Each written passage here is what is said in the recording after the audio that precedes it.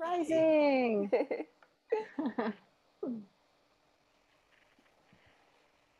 Good morning. I'm going to um, to welcome everyone to the Zoom um, to our Shamans Directory live event this morning, and um, and I'm going to just make some short introductions. Veda, you look gorgeous at eight o'clock in the morning. I'm impressed. Thank you. good morning, good afternoon, good evening to everyone around the planet. We are delighted to have you all with us today. Um, feel free to use the chat to let us know where you're from and say hello. And um, I just want to quickly do a, a brief introduction. Um, I am Tricia Bennett. I am one of the founding members of Shamans Directory. And I, I am co hosting this morning with Mayumi Beckers from the Netherlands. Um, we are both um, part of a team of people who have been working for just over a year to um, create a directory for shamanic practitioners and healers from around the world. Um, we are answering the call of the prophecy that has been resounding across the planet for over a hundred years that we will only heal when we all come together around one fire and offer our medicine together collectively for the healing of humanity, the earth, and all living things. So, after uh, a year of very hard work, we are delighted and a bit hesitant to say that the doors will be open at the end of the month. So, that means within seven or eight days, the doors will be open. So we are very excited about that. And um, today we have with us um, one of our ambassadors, and our ambassadors for Shamans Directory are those people from around the world who have stepped in and said, yes, it's time for all shamanic healers and teachers to come together to leave at the door whatever separates us and to come together around one fire to offer our collective healing. And I met Veda a couple of months ago through another one of our ambassadors. And I'm just going to ask that people mute themselves when you enter um, so that our the sound doesn't get interrupted. Um, that would be wonderful. And um, and so I met Veda through one of our other ambassadors, and she and I had an opportunity to talk about her work with water. And if you are aware of shamanism at any level, you know that one of the fundamental principles is that everything is alive, that everything has intelligence and wisdom to offer. And when I had a chance to talk to Veda, I realized that her relationship with water is not only unique, it's extraordinary. And she calls herself a water researcher. And after reading her book, I now refer to her as a water whisperer. so I just wanted to say a, a, little bit to bring us all into the space of water. And I know she will say more, but just to get us all kind of thinking about water that you know, the symbology of water is everywhere in our world. Water is a symbol of the unconscious mind. It is it is mm-hmm. known throughout every culture in in sacred ways. The cup is known all over the world as the holder of water and the sacred. The womb, we think of water as the depth, we go to the depth of the earth. Um, water runs underneath the flow of life underneath us, um, the water that is the source of everything. We refer to fountains all the time, to rivers, to the sea. Um, and the last thing I that came to my mind was the the Im, the image of a well and the symbology of a well, the feminine principle, the womb, the great mother, and and really of a well being a sacred portal. And I feel like Veda, I feel like you are a sacred portal. you have really created a sacred portal for all of us to experience water in a way that probably none of us have considered. So I want to welcome you and um, let you tell us a little bit about yourself and the history of your relationship with water. Well, thank you, and hi to everybody. And firstly, I want to apologize if my line sounds a little crackly because my, my computer sounds a little bit like a hissing cat all the time and it needs to be fixed. So hopefully you can bear with me. Um, I'm so happy to be here amongst all of you. And when I think of water, I think of water as being the elixir of not just life, but love. And water has really taught me so much about what it is to have self love and love for nature. And really, the two go hand in hand there really isn't uh, any separation in that way, only in that humans, on the whole, tend to think of ourselves as separate from nature, but as we know, that isn't true.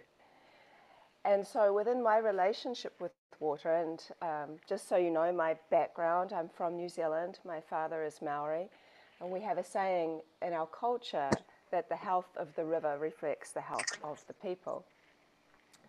And so, what I have found over all of these years is that one of the ways in which we have relationship with water is actually really about having relationship within the waters of ourselves. We don't tend to think of ourselves as bodies of water. Uh, this is because we're encased in this, in this kind of skin suit or meat suit. But in fact, by molecular count, not by volume, we're 99% water. That means there are more water molecules in our body than stars in the Milky Way. And I think that we're, we are actually made up of these immortal things.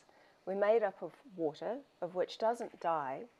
Humans give water the term dead water when it's polluted or when it's not structured or whatever realms of watery kind of groups you might be in.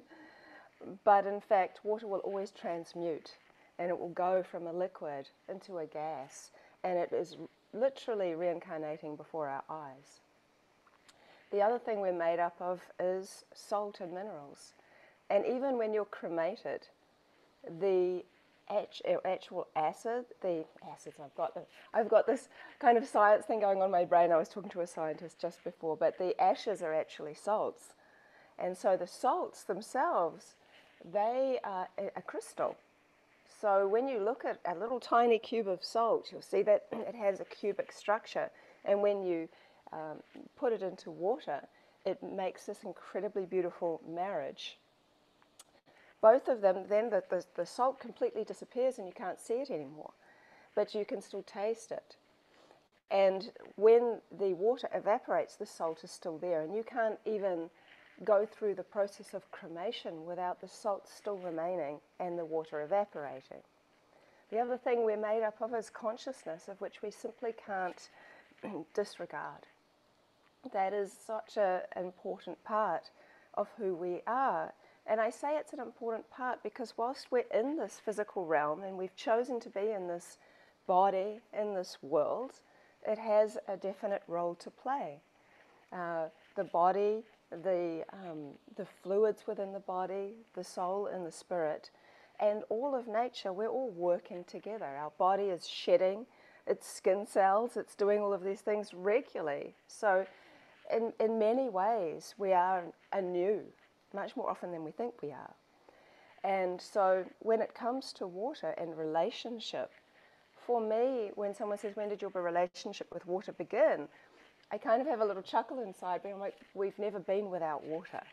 Water is our companion from the moment of actual conception to the to actually I well I was going to say to the moment we die, but I think it is with water that spirit actually um, leaves the body.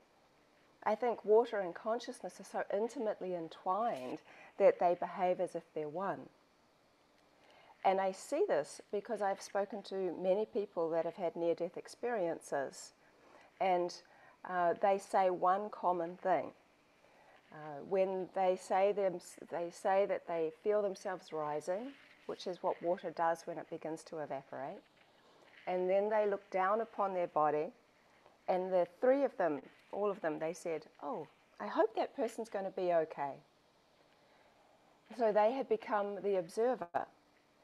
And from my experience, what I believe to be true now is that we have these two types of water inside of us. And this two types of water thing has been following me now throughout the nine years that I've been a water researcher or a water whisperer. But really, water's always talking to us. I think it's more about listening to what water has to say. and we're all bodies of water and we can all do it.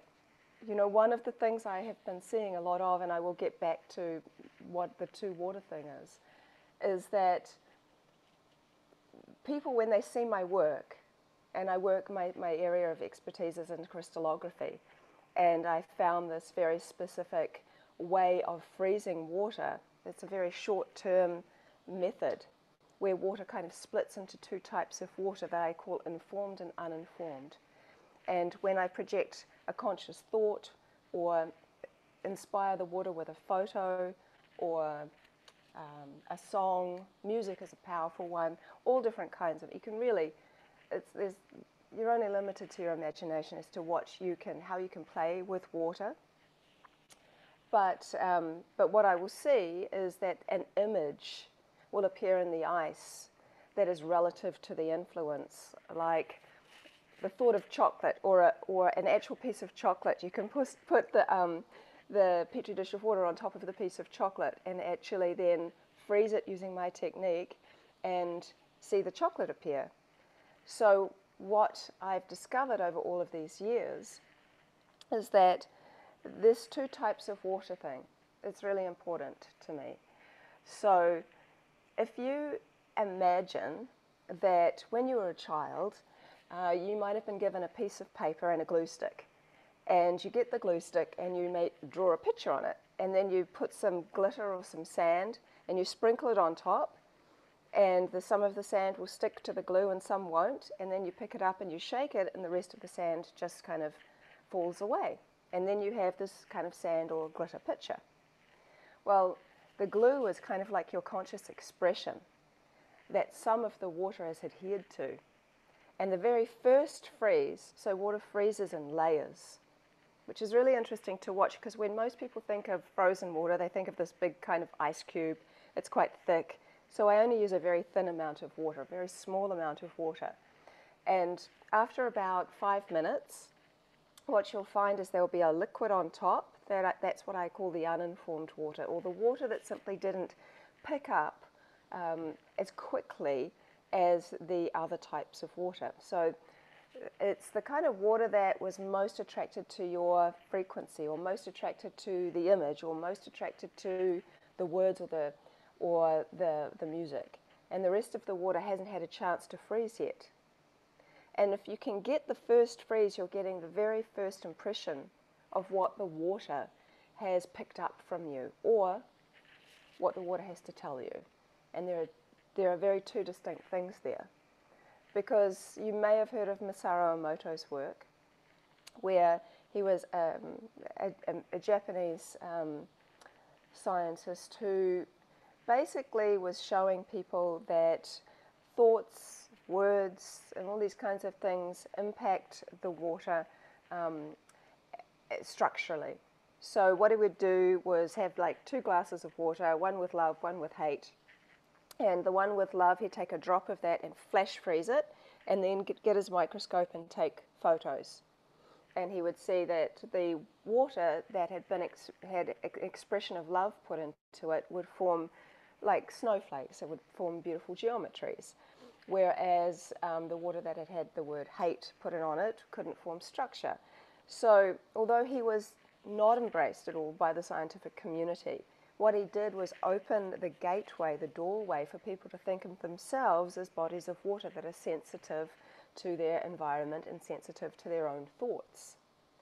And it was a very powerful way in which he, he showed people, because a, speech, a pictures speak a thousand words. Um, so when I kind of saw his work and another man's work, and I don't know if you'd like me to share any photos or anything. Um, but I, I, I, can if, if you would like me to, but We would love that. Yeah. Okay. So I might talk you through, because really, like I'm saying, a picture speaks a thousand words, but until you actually see my work, it's very hard to really know what I'm talking about. So um, I'll just make sure I can screen share there. So just letting you know that this is um, uh, for somebody else, like, like this kind of, um, I put this together. So anyway, that's that. So this is just Emoto's work here. So just a very small example of of it. And so you can really see the structural changes. So the next person's work that many people don't know about is this man called Laurent Costa. He's also taking microscopic photos of water. Um, but what's so interesting about his work is that he's not just seeing geometries, he's seeing faces. And so he's getting hearts, he's getting fish, he's getting these specific faces. And what's so cool about his work is that he doesn't think of water as something that he wants to experiment on. And I'm very much of the same mindset. I'm a body of water that doesn't want to be experimented on either. And so he simply is like looking at the water and smiling at it and then he's flash freezing it and looking through a microscope and taking photographs, and he's getting happy faces back. And so when I saw this, I'm like, oh, that, that just makes me smile. Whenever I see a happy face, it actually gives me a human response. And when he's expressing love to the water, he got the most beautiful, perfect heart.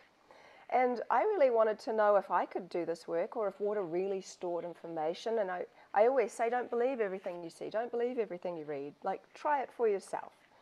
And so back then, I didn't have a microscope, um, and I really wanted to try something. And I could see that the, the real kind of magic seemed to happen in the freezer, in the freezing process, where the invisible becomes visible. There was one last man that inspired me. His name was Thomas Hieronymus. And basically, he um, was a radionic engineer, and when he went into a Parisian meat market, he observed that the freshly placed organs of an animal appeared to be affecting the way the frost froze on the glass behind where they were placed. For example, the frost would form in the shape of a liver organ above an actual liver organ, and so on and so forth. And so his hypothesis was that there seemed to be some kind of life force energy still emanating out of that organ based upon the fact that there was still water in the blood. And what I was excited about when I heard about uh, what he had observed was that he was seeing it with his naked eye. So I'm like, well, that's interesting because even Rudolf Steiner suggests that you look at the way the frost freezes on a butcher's window compared to that of a florist's, and you will see there's a difference. So as my journey um, began, I, I wanted to see if water could do this. So I had a healing journey with water. Um, and this special type of water that's in New Zealand is a spring, beautiful spring water. And um, so I put some of that into my petri dish. Just people always ask me what how what kinds of do you only use that special water? No, I've used water from all over the place, all different kinds. And I was holding the petri dish like this in my hand in, the photo, and there was a little bit of fluff floating around. You might even be able to see it in there, but there was a little bit of fluff floating around in the dish. So I was like, oh God. So I put my hand in to take the fluff out, consciously thinking, I wonder if my hand will have any impact on the water's quote unquote memory. Then I put it in the freezer with the peas and the broccoli and the ice cream and all the stuff, and I forgot about it because I had no expectation of what I would see. This was not coming from any other place but curiosity. And so a few hours later, I came back. I'm like, oh yeah, there's that petri dish. I better get to look at it. So I, um, I basically took the petri dish out, held it up to the light, and took a photo. And um, and this is the photo that I saw that I took, and it takes up half of the petri dish. So this is huge macroscopically. And I don't know if you can see, but I, I have inherited my mother's bent fingers. And you can see that my bent fingers are in the ice, a hand here. So I was kind of like shocked and almost a little bit freaked out when I first saw this because I'm like, I wasn't expecting to see something quite so obvious. And so I, I, actually went to my son Rama and I said, "Hey, hey Rama, what's what is this?" Because he didn't know what I'd done, and so he showed me. I, mean, I just showed him the photo, and he was like, "It's a hand, mum." And I'm like, "Really? Looks like a hand. You're right." And then I was like, "Well, is this just a coincidence?" So then I went down to the beach because I thought if any water's going to be informed, surely it would be seawater. Um, and then I got this photo from seawater where you can see the um, tail and the outline of the fish and the perfectly round eye and the fins. And it's feathery because salt water freezes slightly differently than fresh water. And so then I began to realize uh, a, lot, a lot of things. Like I talked about with my technique, and as you can see um, in this picture, this was how I used to do because I didn't know any better. You know, you kind of go along in this thing and see what's going on. So this is what totally frozen looks like. Still very cool, but this is what my new technique looks like. And as I became more and more familiar with the new science of water, I actually um, became more and more familiar that there is a fourth phase of water. There's a liquid, solid, gas, and then a type of gel. And Dr. Gerald Pollack, Pollack talks extensively about this fourth phase of water. And that's actually the kind of water that's inside of our cells but you can also have fourth phase water in other water. And so as water begins to freeze, it goes from molecular chaos, where it's in, when, when you have a glass of water, it's updating its information every trillionth, trillionth of a second. And then as it begins to freeze, it goes into more structural order. It becomes actually, they call it liquid crystal because it looks like the same lattice like molecular structure as a crystal. And in fact, humans are liquid crystal because we're salt water. And so as I began to understand that, I started to think I was missing something by freezing water for such a long time. So I started opening my freezer earlier and earlier and earlier to see where it was at. And that's where I discovered this other type of stage. And so over here, this is actually the photos taken by my son. The whole thing was done by my son. And um, his name is Rama, and from the, the Hindu god Lord Rama. And we were talking about how Lord Rama always had a bow and arrow. So he was projecting the thought of an arrow into the water before freezing. You get different colors coming through. You will see that as I start to show my work.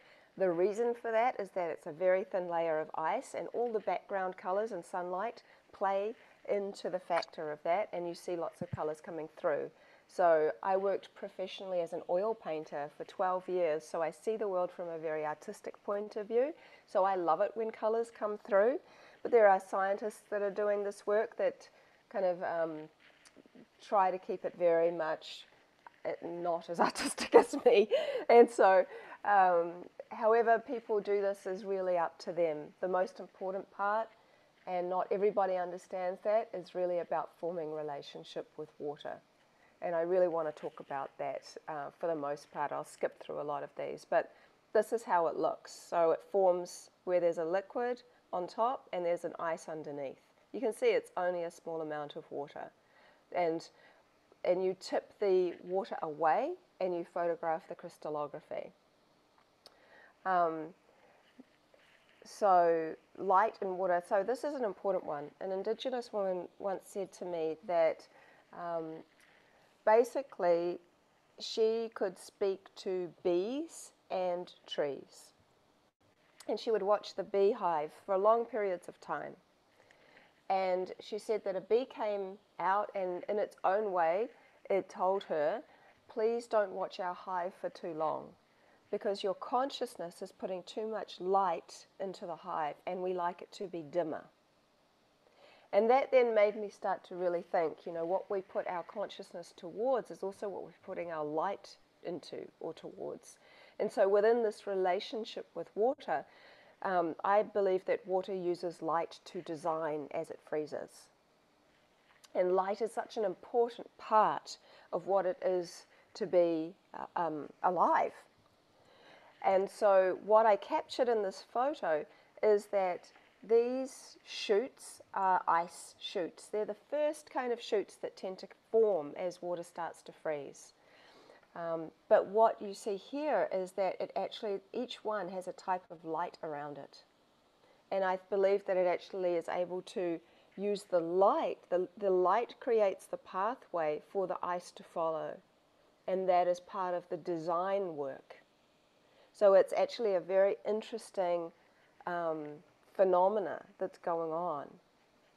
Um, I, I knew that water liked to design an imagery, so I used different people's photos. This is my friend Wendy. I put the petri dish of water on top of her photo for 30 seconds, froze it using my technique, and you can see that it's designed her face.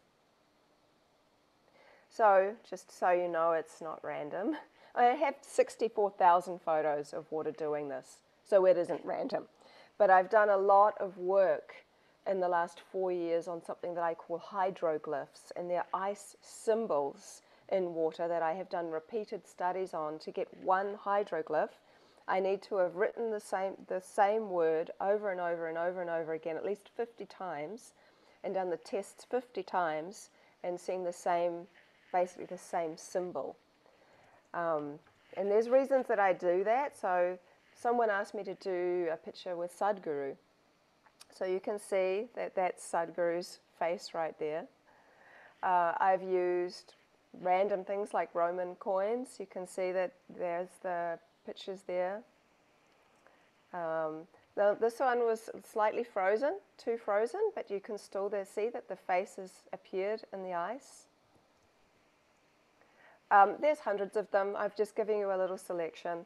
So here's a little selection of some uh, of different ones. So where you can see what the whatever the influence was prior, um, and on the right side, and the results are on the left side. So you can see in this one, I've just put my thumb in the water, and you can see that it's yeah. It's interesting because if you look up here, there is like this little kind of circle on my nail. And a few hours after doing this this um, this work, and after seeing the crystallography and noticing this little dent, um, I chipped my thumb in exactly the same place, which is interesting. Um, my son did this one, and I mean, you know, this is liquid water going in, and these images coming out. It's important to like recognize this is like incredible work that art is. That this this artist that is water. I, I say often that um, art is the heart of water. Um, this is a very impactful one. There was a, a, woman who was pregnant, and she was in her early stages of pregnancy, and I asked her to drink some water. And um, I'll just enlarge it so you can see here. I asked her to drink some water and leave me some to freeze. And this is what I froze, and you can see that there's a little baby in there. This is one of my funny stories, in that um, I was at a cafe and this dog, the, this like looks like this Schnauzer dog, was drinking out of the dog bowl they had out for thirsty dogs. And I'm like, oh, I wonder, I wonder if the water would show it, what, what it would show about the dog. And so I went to the waitress and I said, Do you think um, I could get a little takeaway cup for the dog bowl water? and it must have been one of the craziest things I ever asked. And she looked at me literally like I was nuts, and she's like, um, okay. And so she gave it to me, um, and I simply went home and froze it using my technique. And literally, it's like an etching. It's so amazing. This photo is in the middle is impactful because um, I used a book. My daughter had a, a big book about all different kinds of birds, and I put a piece of cardboard halfway down the owl's face and I put the petri dish of water on top of the piece of cardboard so that it wasn't right in touch with the other half of the owl's face, and it designed the other eye. Um, and as we go through, there's, I mean, there's so many. Um, here I've just used broccoli water, and you can see the broccoli. Um, I've used a daisy. Um, another dog, you can see it's clearly a different type of dog. Uh, for the ones where I've used media, I've basically just sat, sat the Petri dish in front of a movie and left it and um, come back later and frozen it. And so um, this is kind of one of those things where there's so much of it that it's hard to deny. If it was just one or two or three, you'd like, eh. But um, but I post every single day um, on social media, and it's it's an interesting one having to have that relationship with the world and with social media and posting all of this very amazing intimate stuff.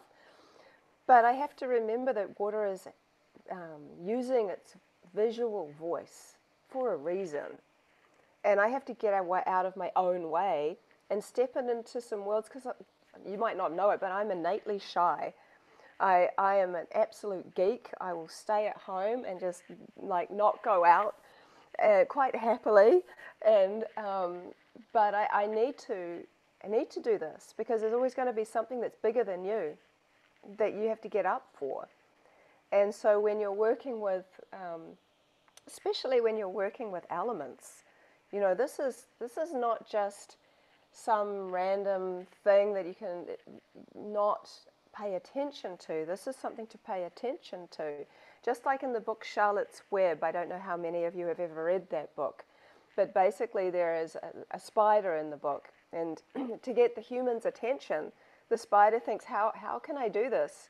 So in her web, she writes words and human words to get their attention.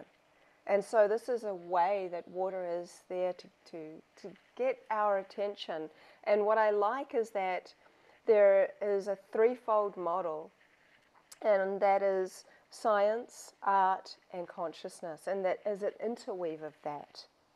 And so, what I suggest to people that struggle with this work to kind of get their head around it or their heart into it is just say, look at it as art. And that way, you're not throwing it out as just like something of no importance because art has importance and significance.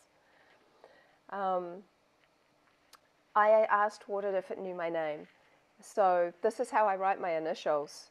This is, I never showed the water this, um, but just this is for you to know. This is how I link my initials, and designed as perfect VA. Um, this story is beautiful. This is my mum over here. She was a walking angel, and she passed away in 1999. And this is me. And um, so basically, I was missing her, and I said to Water, Can you please connect to my mum? And when I was, um, oh, and it was a while ago now, um, eh, I was living in Japan, and um, this was before cell phones and before emails, and uh, my mother and I would write letters to each other. And at the end of every letter, my mother would attempt to draw a circle. Her circles were terrible. She'd be the first to admit it. They always looked like misshapen rotis, uh, and put a heart in the middle. And so when I froze the water and I saw that, that had major significance to me because I'd seen that on every single letter that my mother had ever written to me. And so now I do it every uh, year on her birthday, and I keep seeing it. And so this one was, um, I did for a, a, man. Actually, it was very interesting because he's a big water guy. And he said, Oh, can you put a couple of petri dishes out overnight so all my friends can send love to the water and send me birthday wishes and we'll see what happens? And so I thought, Yeah, sure. And I did that. But I added a third dish because I knew his father had passed. And I said, Could you please connect to um, my friend's father? And what was curious was that when um, the next morning I came out to do the freezing, uh, I put the same amount of water in each dish. So each dish had exactly the same amount of water in it. The two he knew about had the same amount of water still there, but the one for his dad had actually like been evaporated to only a very small amount of water. And it was a, one of the most curious things. So I just froze what was left, and everything froze into this heart. And then I showed him, and it was really something special for him. And it was interesting because I don't know, his dad had passed only within that year, and I don't know whether maybe his dad had used some of that water for energy, or there was some interaction that happened there. Again, I, I really am not sure, um, something significant happened. Whereas my mum has been gone now, you know, for over 20 years. Um, so this is my latest work. I think this is really important. So just to, to kind of recap, I've, I've done so, I mean, literally thousands and thousands and thousands of photos, and I'd love to show them all, but I, I think that I would like to talk a little bit about hydroglyphs and their significance, and then I'd like to just talk about this kind of observer effect that I began talking about earlier, water as the observer, because I, I really think that's an important topic. So to get you really up to speed with more of my latest work though, um, I used to, well, I, I still do, I, I, but I've done, I've done a lot of work with music.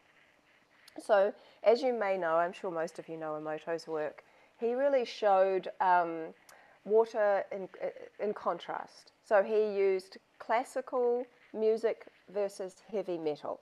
And heavy metal formed, didn't form structure, classical music formed lovely crystals.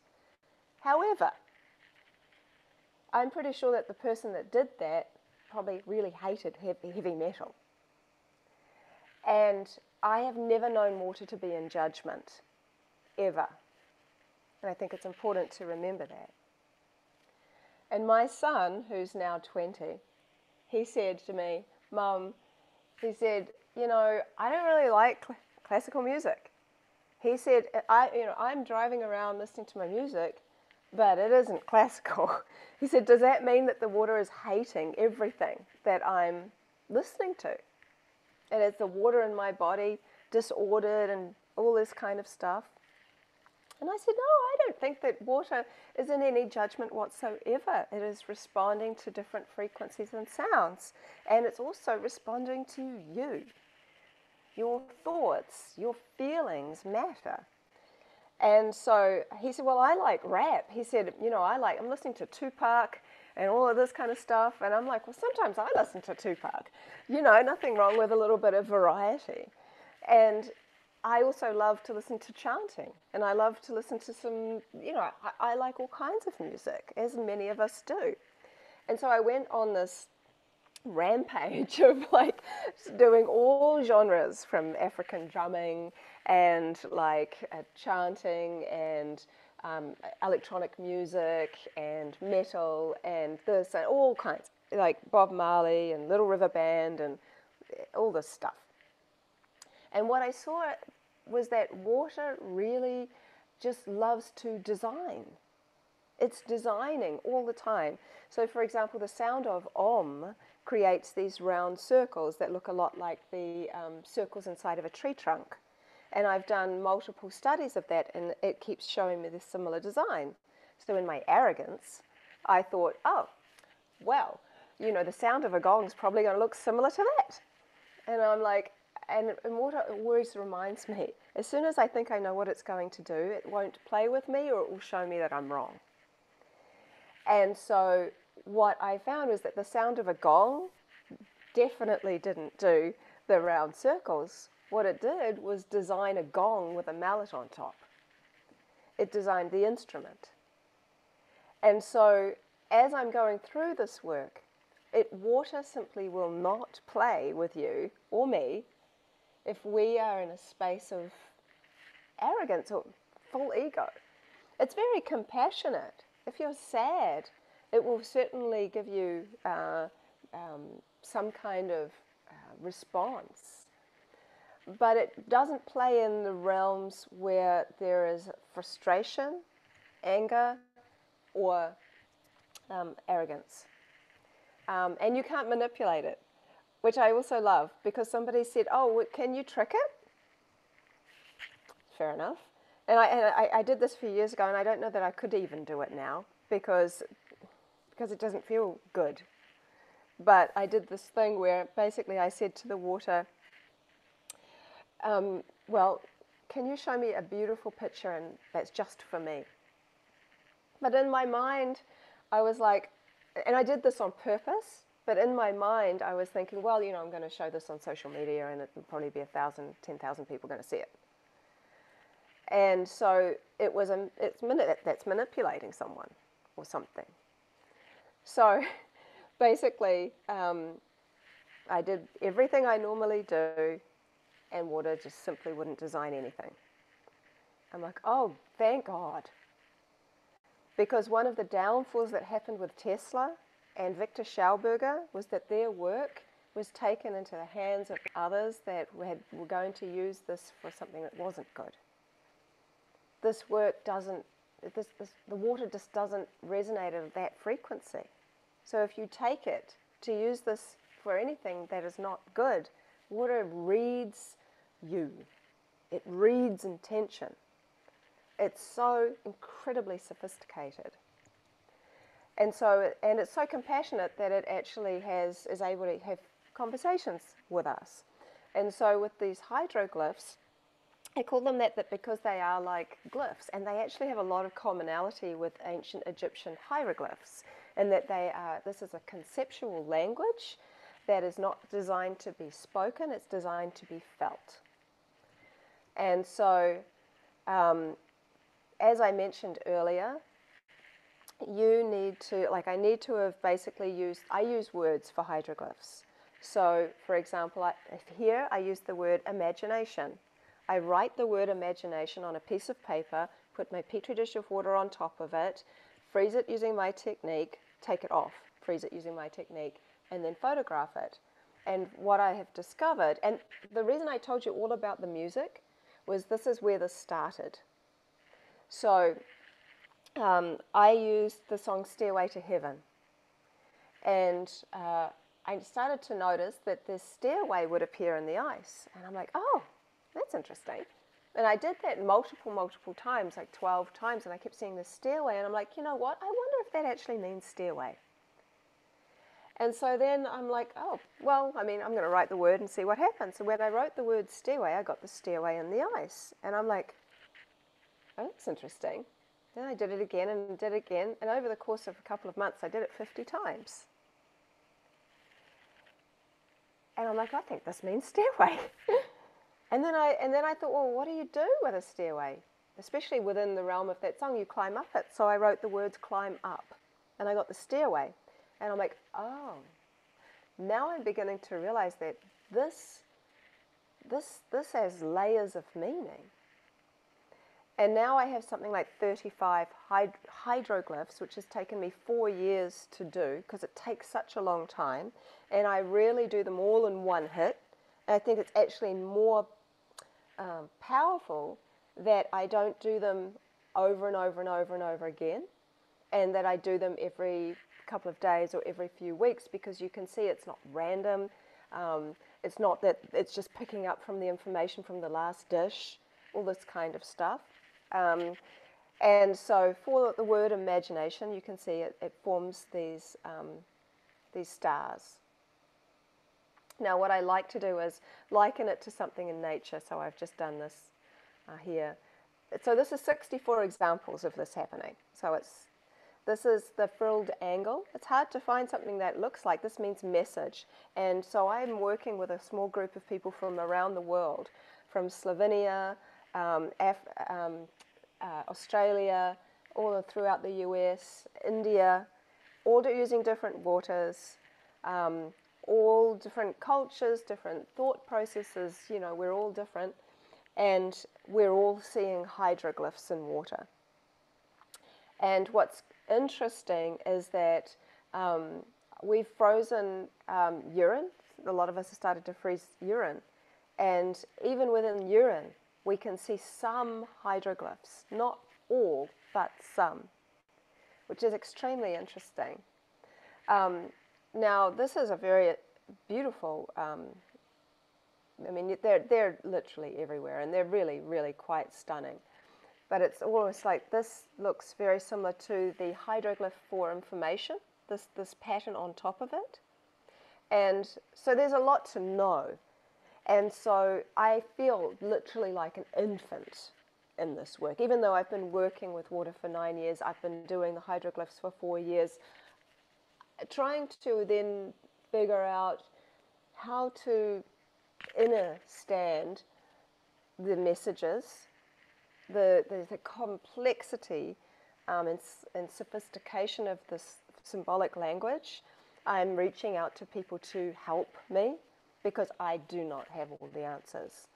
And so, um, as people start to do this work, as people go on workshops, as people get to learn how to do this for themselves, um, I have a, a private Facebook group of people that are all doing this work and sharing work.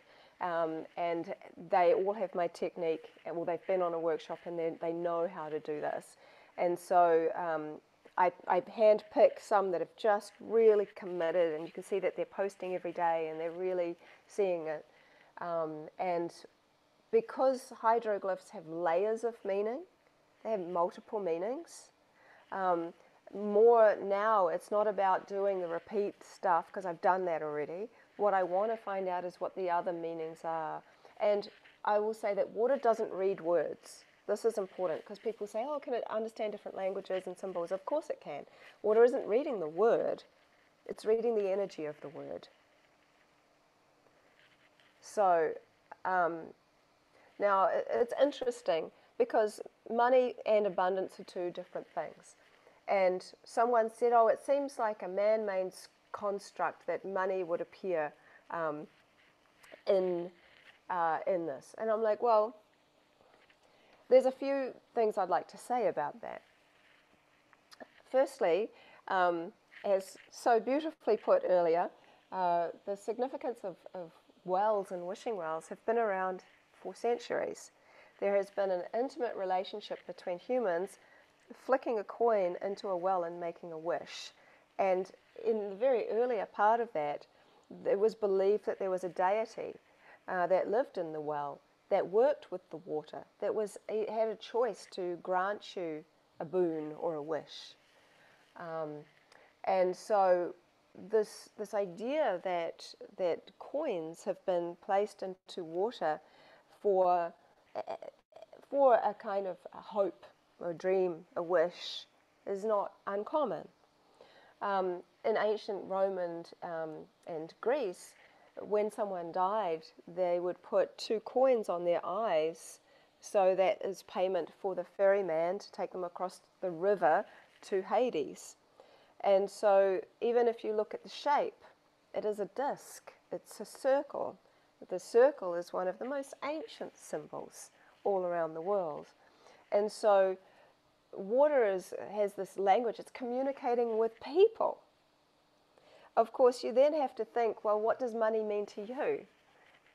This is really every single time something comes up, like there is an image like this one, for example, um, you have to kind of go, well, what, what does water want me to know about the significance in this respect of money? Is money um, energy I can count? is money something, because money isn't actually, it's neutral. It's only the, the worth we put on it that gives it value. And so I think within this realm, water is having conversations with us. One of them may well be about something to do with abundance or money. And that is a real world thing. Can't kind of deny that it is. Doesn't it's, it is one of those things in which, in this world today, is around. And we are bodies of water.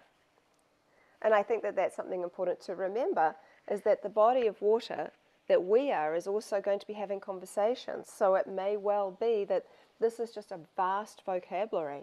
And I, and I think that that's important. Plus, it's picking up the energy of the word, in which case it's showing us that it understands that word. So I think it's important to remember that too. Um, this is a really important one. So, and, and I've done many, many, many more of these because it has a lot of layers of meaning. Living is one, gratitude is another, healthy is another, and death is another. Now, death isn't a mistake, just so you know. Basically, um, death, uh, somebody asked me who was told that he only had a few months to live. And he said, Can you please ask water what death looks like? So I did the technique and I kept seeing the living glyph. I'm like, wow, why do I keep seeing the living glyph when I'm showing it death? And I came to the realization, of course, that water doesn't die, it transitions. And so, in the realm of water, just a little reminder how much water we're made of by molecular count 99%. Um, basically, water transitions. It doesn't die, it doesn't understand or see death the way we do. And so when I showed the image to him, he really was so relieved because for him, he really took that as a message to say that, that it just we just transition on. And certainly that's what I'm seeing in this particular realm of work. Um, and the winter tree means change. Um, the lotus means enlightened, enlightenment, and purity. Um, the emanation means free energy. I, I, I, throw this in because I think it's really, really interesting.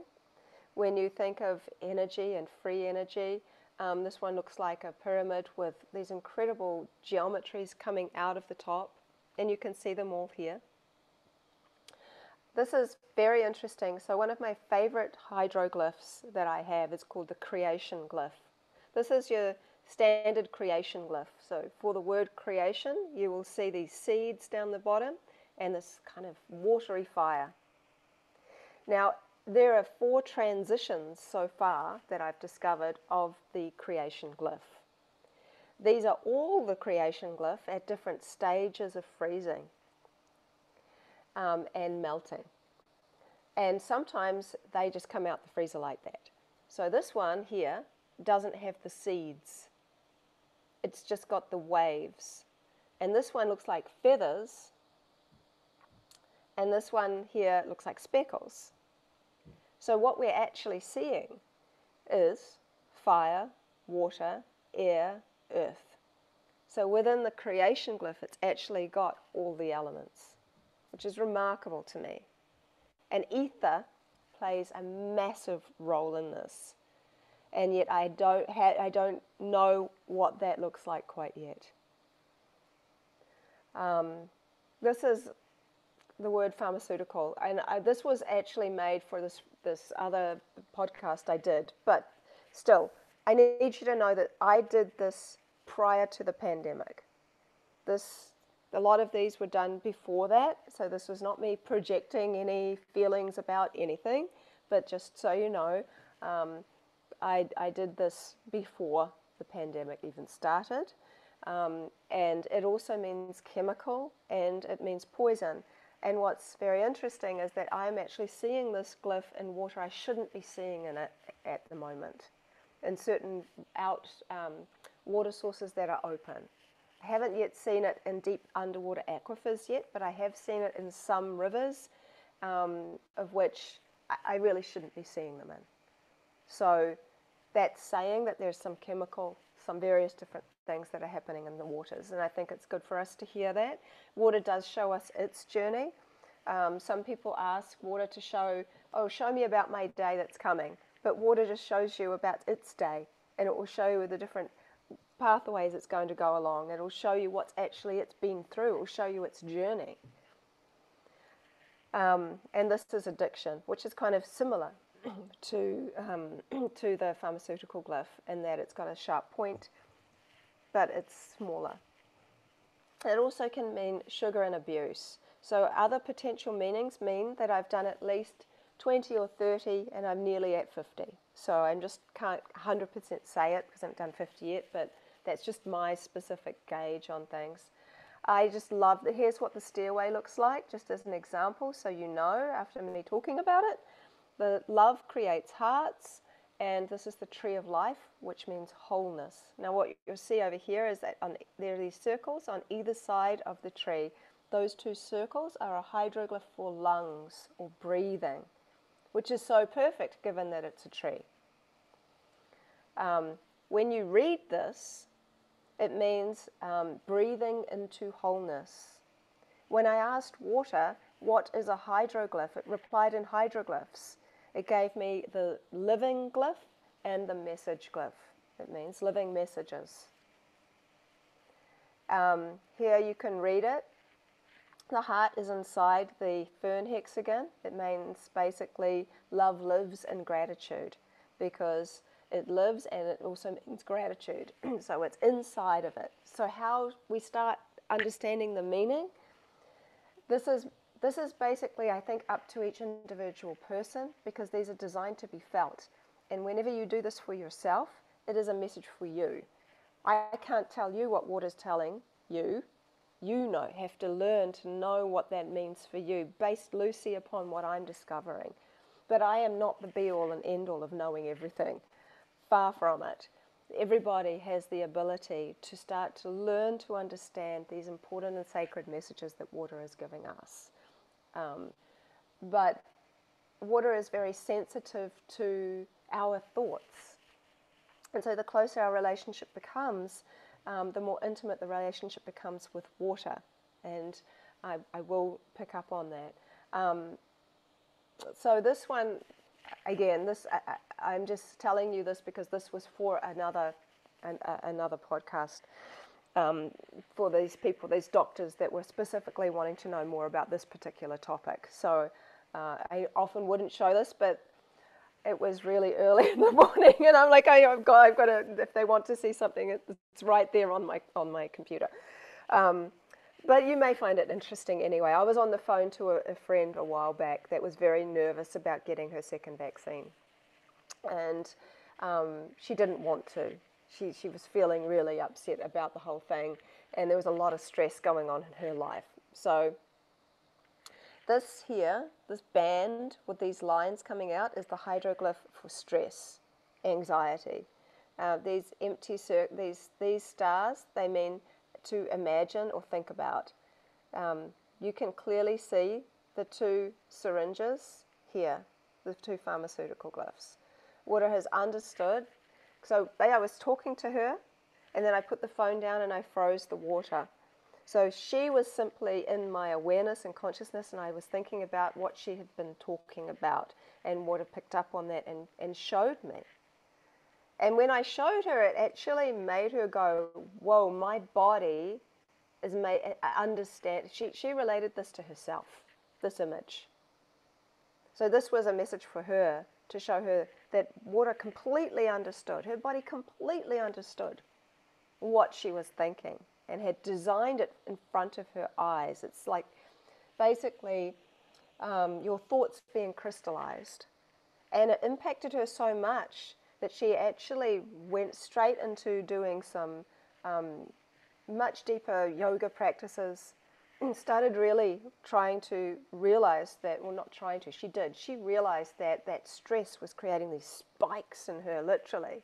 Not the kind, and and she just she didn't get it in the end. She didn't go for it. She didn't get the second vaccine, and um, she.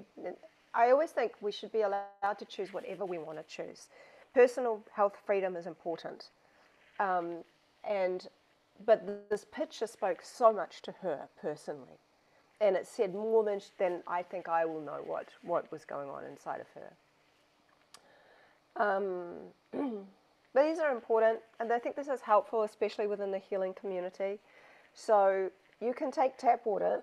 so I've done for a couple of years. I worked for a couple who, and my job was to identify the different crystallographic structures of individually and different types of water. So what their signature patterns are tap water is very disordered for the most part. It doesn't create very much geometry. Um, spring water, for example, will show those beautiful fern hexagons like the living and gratitude glyph.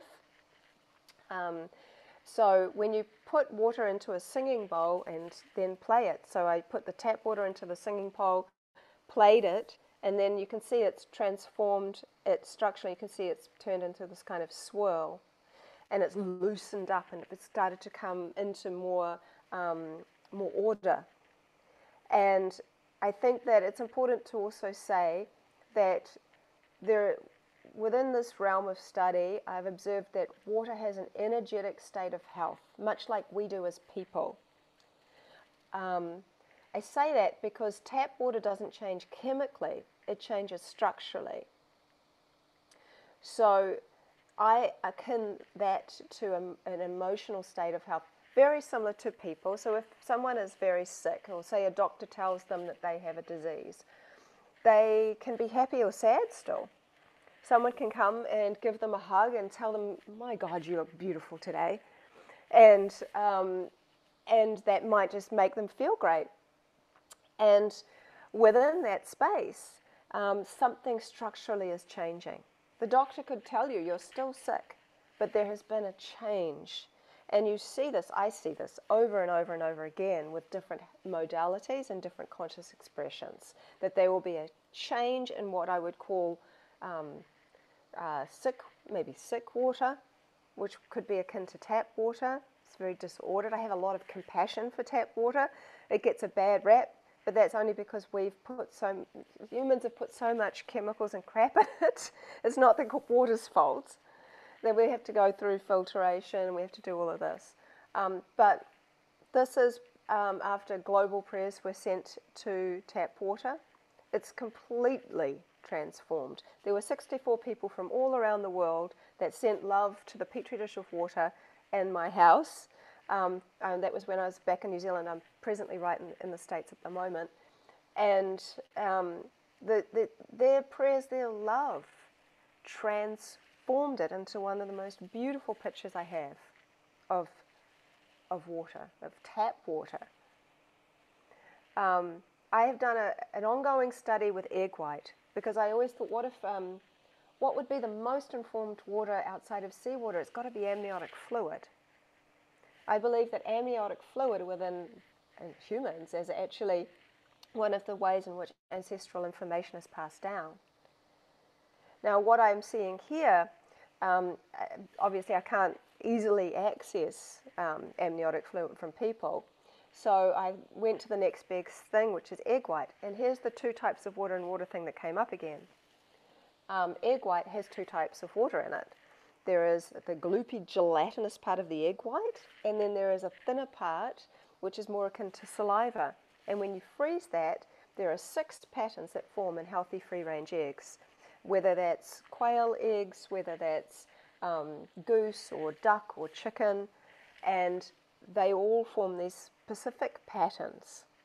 For example, this pattern here is the pattern that I would call the volcano. This is what I would call the flower and the others go around the side. Now, when I've tried and used uh, caged battery farmed chicken eggs that have gone through a lot of tra- trauma from the mother, it fails to form structure. Maybe it will form one of those patterns at best. So I did something recently because I've been coming out to the States quite regularly with various different, for various different reasons. And each time I would uh, try to, to see what the crystallography of the eggs out here looked like. And I would buy, go to the farmer's market and I would get free range eggs and in, in the assumption that I would see something like this, because this is what I always see in New Zealand. But I kept seeing stuff that looks like maybe just two, two, two patterns, one looked more like this. And I'm like, this is this free range? What's going on? You know, I get them from the soup from the from the um, from the market as well, like the actual like the store, um, and it was like organic, free range, and I wasn't really seeing anything very exciting at all, and I was getting really distraught, thinking, God, America can't be that bad. Like, was it chemtrails like what's going on? Like what's going on? Is it the soil that the that the chickens are eating on? Like it's not just about being free range, but what are they animals free ranging on? So I gave a talk, this health freedom talk, um, uh, about, about a month ago out in a place called Fillmore, which is near Ojai. And the lady had an organic farm. And um, anyway, I bought some of her eggs. And I was so relieved because I saw all these beautiful patterns again. I'm like, oh, thank God. Um, they're there. But they'd only been just laid the, that day. So freshness seems to play a part in that role. Now, this is a very, very new study and it's very interesting. So, what I observed is basically um, this is what I normally see this kind of interesting brain type pattern. This was what I would see in most of the eggs I tried in America that I froze. This is the one from that place I just told you about. So, I was happy to see that. Um, now, what I did here was take a free free range egg and um, a caged egg, and I put them side by side overnight. And this was what the caged egg improved. Normally, I've never ever seen, not in my lifetime of doing so many studies, all of the caged eggs always look somewhat like this or somewhat like this. I've never seen, I even knew that they could improve. But sit, by sitting overnight next to a healthy egg, they improved quite significantly. So that was one study. Of course, then people, anyone in the world that's that then applies that to people, they're like, yeah, but what if you surround a good egg with a lot of bad eggs? Of course, you're going to think that. So I did that.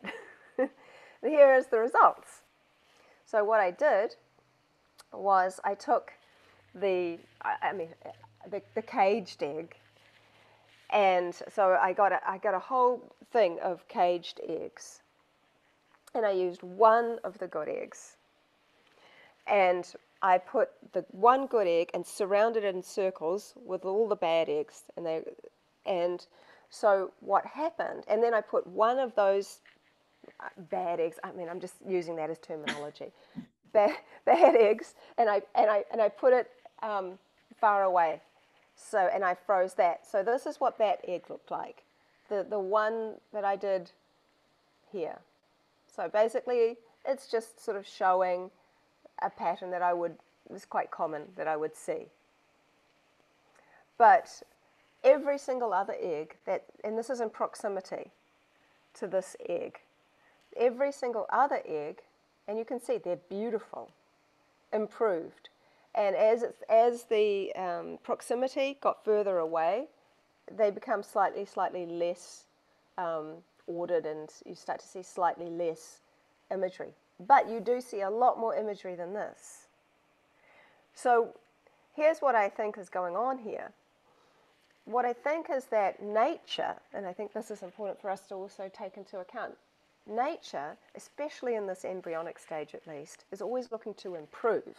If we look out at nature, the runts of a litter are usually don't don't survive.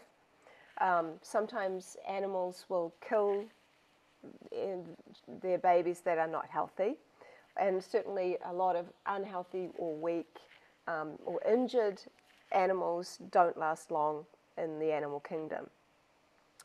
And so, at an embryonic stage, what we are seeing is that, of course, that not thinking like humans might think, like good eggs and bad eggs, but actually the eggs with, that have been through trauma are looking to heal. And I think that people that are sick, when you actually get sick, no matter whether you're good or bad, there is this part inside of you that is really wanting to heal. Something opens up in you where you're like open to some people actually wanting you to heal. And so there's something very significant in the study of which I need to do more of. But what I, what I think is that when a, a healer, somebody that has, has really done the work or has these gifts or has, knows their purpose, is a, even just in proximity to another person that needs to heal, whether it is a physical healing or an emotional healing, a spiritual healing, whatever that might be just proximity is starting to make a change. When people start to heal themselves, truly, they are healing others. And this is what this study is really showing us. It's so important. Because I remember my teacher in India years ago before he transitioned, and he was saying the greatest saints and people that have, have come to teach and be on this planet have been completely filled. They are vessels of divine love. And they will heal people that they will never meet because their energy, their vibration, their frequency will reach people so far across the world and have done that there is this wave of love and compassion which helps to heal and impact people in all the different ways and they don't even know why that's happening. but that's where it's so important for us to really recognize within this container. I think we kind of live in two worlds the world we live on and the world we live in. And within this container, within this world, we have so, we are an ocean. And we are so much more powerful, not the kind of power that overpowers people, but the kind of power that turns on lights. We're so incredibly powerful because we are water, salts, minerals, crystals, and consciousness. Um, that we have this ability to really heal and heal others. And so, as I continue on with this work and with this journey so much daily, I, I, I really do see water as an observer. And I go back into the two types of water. Um, I think there are two types of water in people. I think that there is this um, the water that we drink that flows through our body that hydrates our cells and helps us, um, you know, have all these different functions. Um, but also, I think that there is this kind of drop of consciousness within us, this expression. And all throughout um, history, you will see that, that different kinds of texts will say that the soul, or the spirit, or the subtle body leaves the body upon death. And they don't, no one ever really says how that happens. We, we don't exactly know how that happens yet. And again, this is um, kind of more about how what water has taught me and told me, and also what has come up um, through my inner understandings, and also having watched my mother transition, kind of seen it in a way for myself, as well as other people who have been sat with who have passed. Um, there is this this essence water. Like I said, it's it's the kind of water that is always with us that holds and, and stores and uh, enraptures our conscious expression. And I think that in the same way that I said, we have the, um, the two worlds, the, the world we live on and the one we live in. And is there ever anything outside of the world that we experience?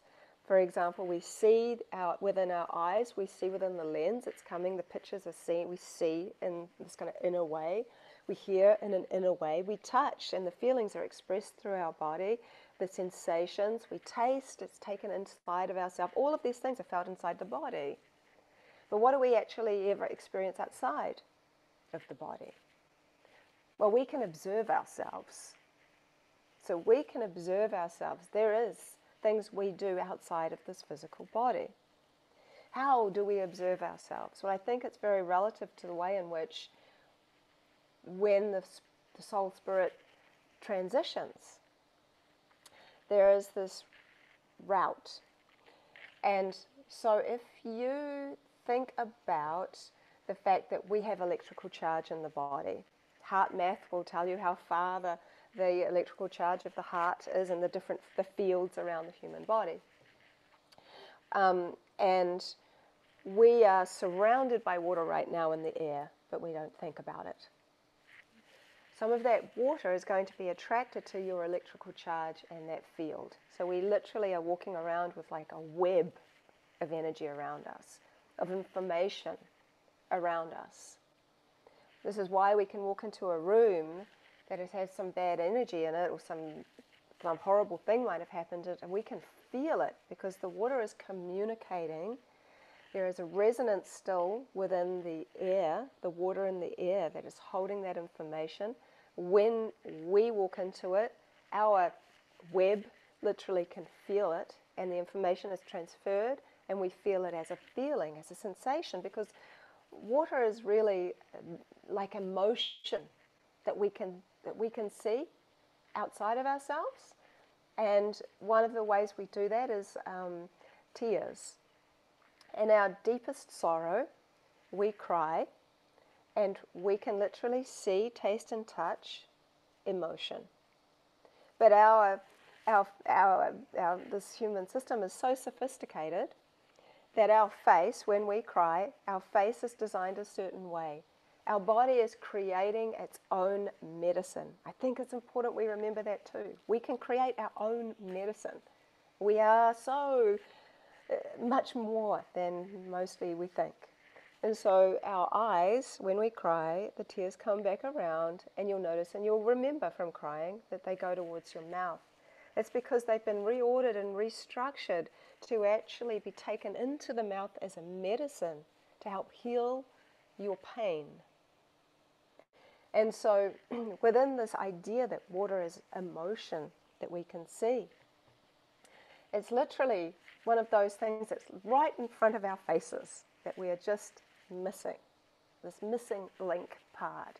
And so, what I think is that because when I observe myself, and if I can do it right now, for some reason I'm always go to about here, and I can kind of see myself talking to you guys. I'm like, how, how am I doing that? Because it's in a really different state. And so, because there is still life force energy in my body and I have electrical charge, I think that that essence water can go from a liquid to a vapor quite easily, working on that electrical charge. And so, as when someone dies, the brain, even when your heart has stopped beating, still still is firing for a certain amount of time, but the water is still moving for about an hour. They did studies. Jerry Pollack did studies.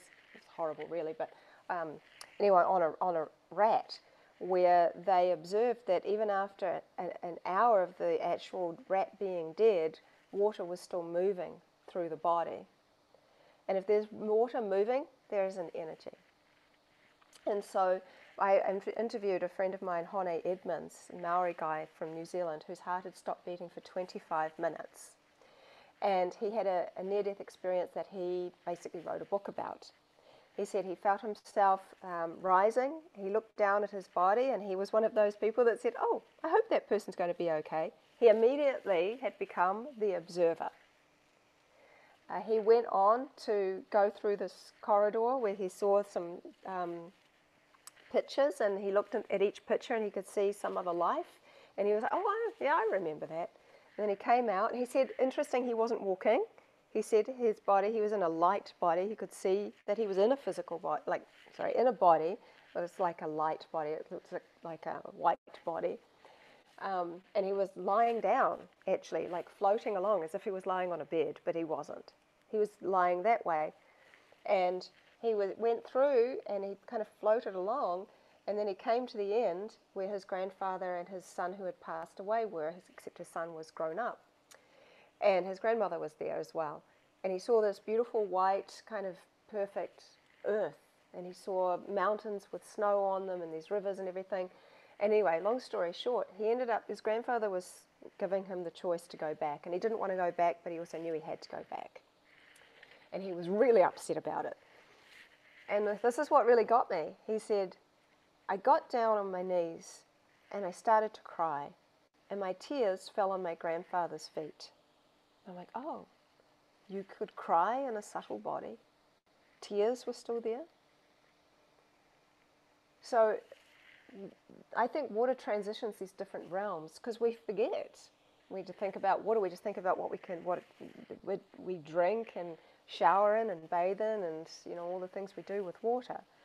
Um, but in fact, I think you know water has a liquid, a solid, a gas, um, gel. And within all of those stages are subtleties, and the secrets are always in the subtleties. And so I think that water is able to, is, it does transition these different realms and these different phases. And as I kind of go into this idea that because there was still some electrical charge, when he came back into his body, he was able to come back when that electrical charge stops within the physical realm, the uh, subtle, the, the subtle body, the spirit, is able to then transition. And kind of it goes from there. And, and but being able to be the observer when you're not in your body is a very important thing. It's the only thing that I can think of right off the top of my head at the moment that we really can experience, and other than the dream realm. Dream realm is important. I've done multiple studies on dreams where I've basically put my petri dish of water um, beside my bed with the intention that it pick up some part of my dream. And then I'll freeze it in the morning. And this is done in complete darkness, and it is not my conscious expression influencing the water, which a lot of people think is going on. So I'm not because I can't, because I'm asleep. And so I'm in a subconscious, unconscious realm.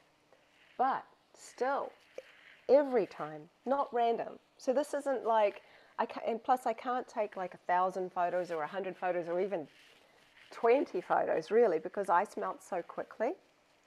So this is um, happening before my eyes literally and I'm having to get photos as fast as I can. But within that dream realm, what appears to be accompanying me somehow, observing what I'm observing. So many layers to this.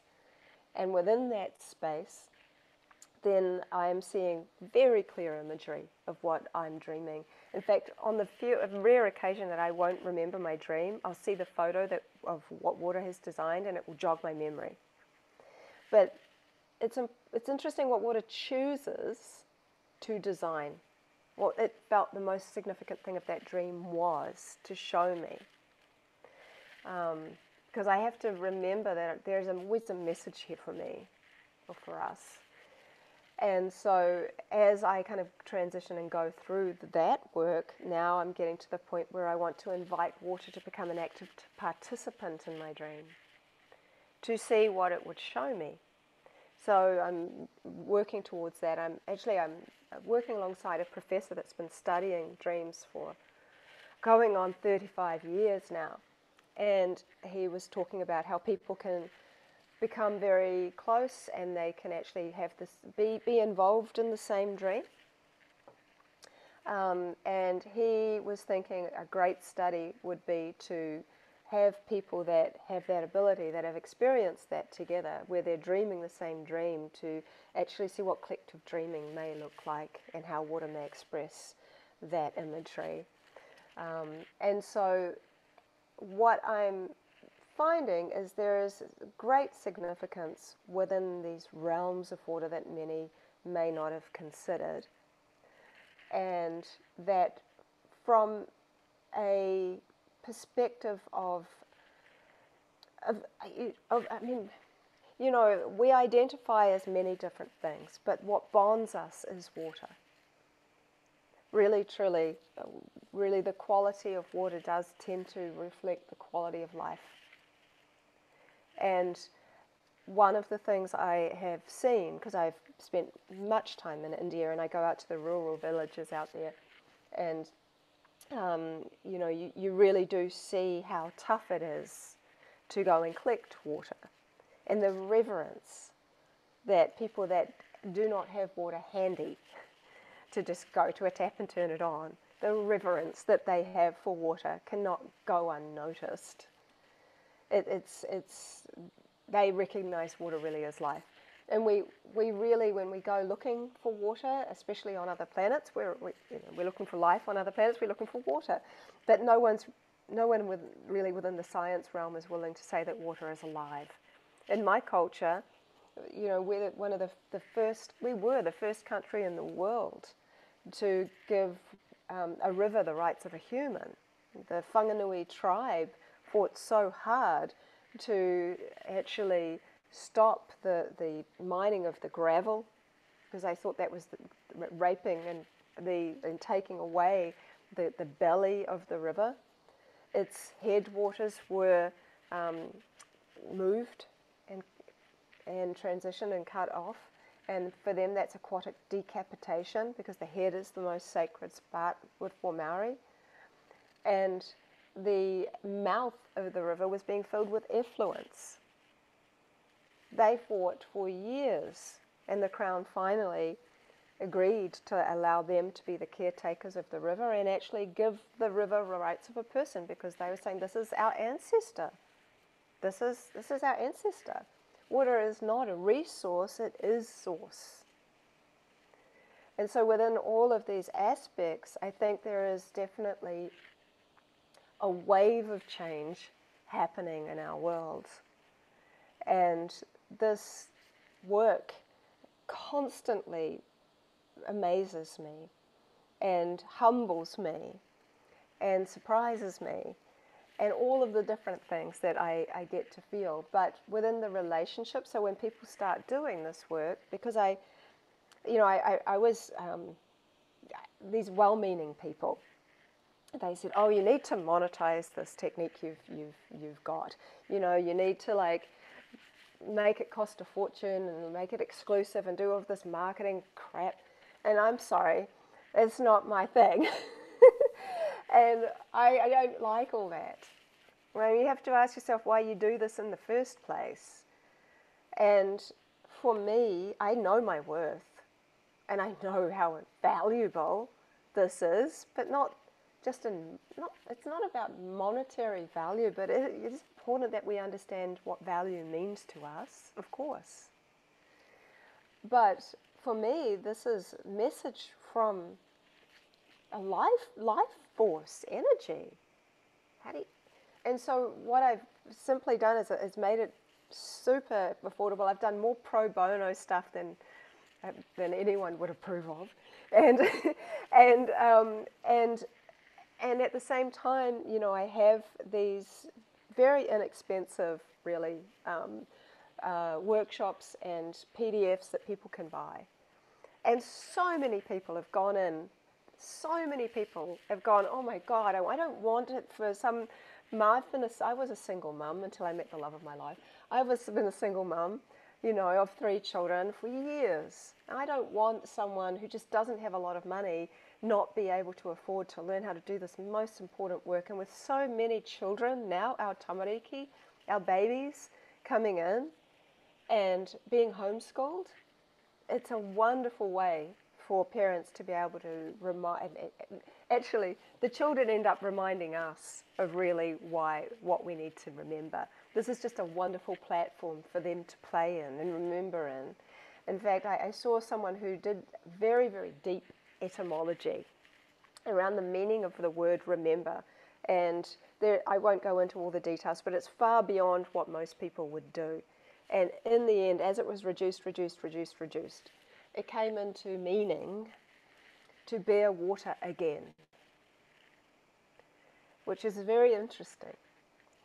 And so, as we kind of go through this, and as the babies and the children are doing this work, because I've gone into many, many schools before the whole COVID thing, and um, and I, I kind of mix it with an art and science project, and the children get to see. I mean, basically, I give them each um, a cup of water. They write their name on it. They think of something that they like, and then they write what they're thinking about. And I'll take all of these cups away and I'll do all the freezing. If they've got a massive freezer at school, which isn't common, then we'll do it there. But and then I just basically gift them all the photos.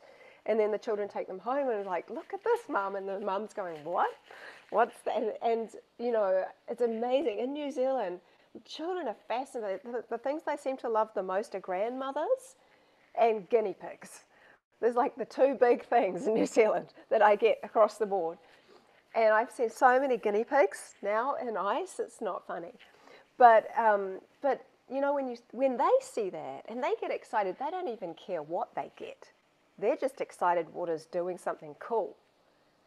And like that water's like a shapeshifter and it can turn invisible. And like there's, there's so much around the way in which we can talk to children about water that makes it fun and they're not falling asleep with boredom about just well is H2O molecule this and and I'll also say what's cool about when you look at the molecules if you want to do that is that you have two hydrogen molecules and one oxygen molecule.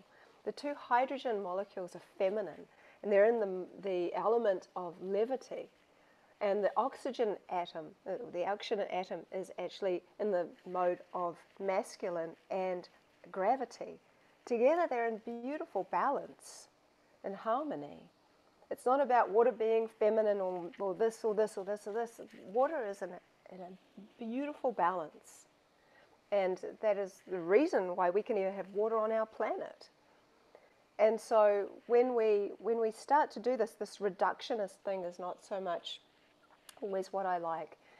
in the very, very early times before the Romans um, made piping um, to take the sewage away, people would call water the waters.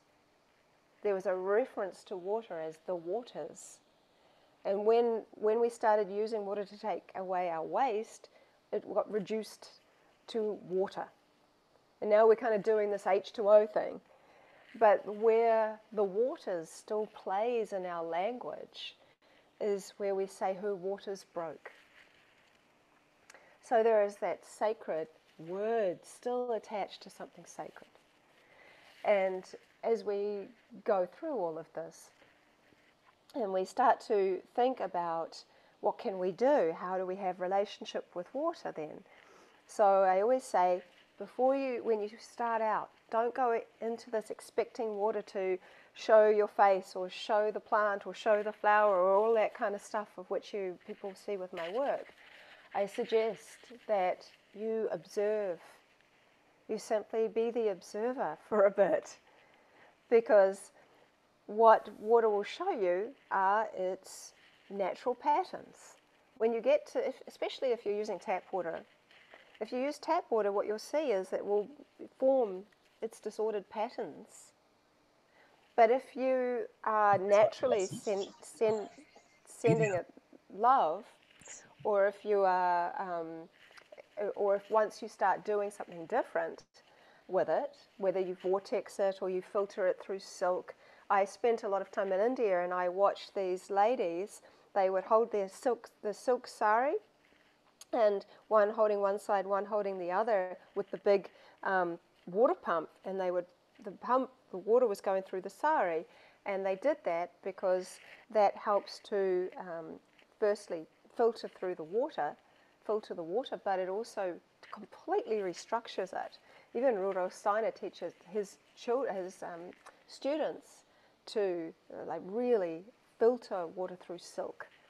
And um, Dr. Jerry Pollack says even putting silk beside water helps it starting to build that exclusion zone, that um, fourth phase of water.